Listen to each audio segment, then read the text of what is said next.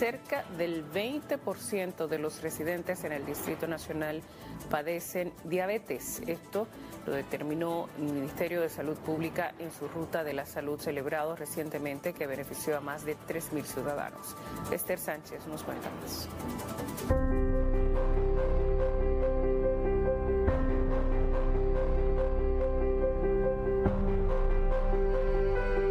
Enterarse de esta jornada médica, algunos ciudadanos de las Cañitas, Capotillo y otros sectores, quienes por múltiples dificultades no habían podido asistir a un especialista, acudieron de inmediato a la denominada Ruta de la Salud, donde fueron diagnosticados con diabetes e hipertensión.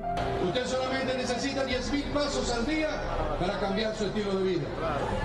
Cuando salen a caminar, se socializan y evita un 60% de la demencia, evita un 30% de enfermedad cardiovascular y un 29% también de enfermedad coronaria. Aquí hemos sobrepasado las expectativas. Se han atendido aproximadamente unas 700 embarazadas, se han ido con su canastilla, los envejecientes. Al igual que estos 13 comunitarios del Distrito Nacional, otros municipios resultaron impactados de la 24ava ruta de la salud. Y azúcar, presión. Yo era una mujer gorda mira cómo me acuerdo.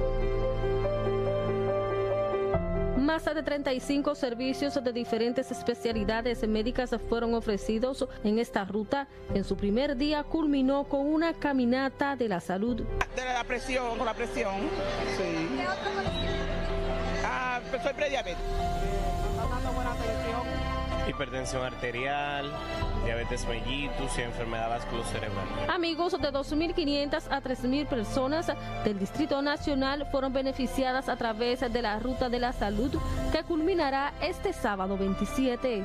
Esther Sánchez, AN7.